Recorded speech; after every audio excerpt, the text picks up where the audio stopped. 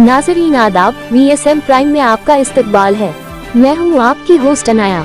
आज के अहम खबरों की शुरुआत करते हैं औंधा नागनाथ से हमारे खास रिपोर्टर मिनहाज की रिपोर्ट के साथ। 29 अक्टूबर 2024 को बीड में मराठा योद्धा जरंगे पाटिल साहब से मौजूदा सियासी हालात पर एक अहम मुलाकात हुई।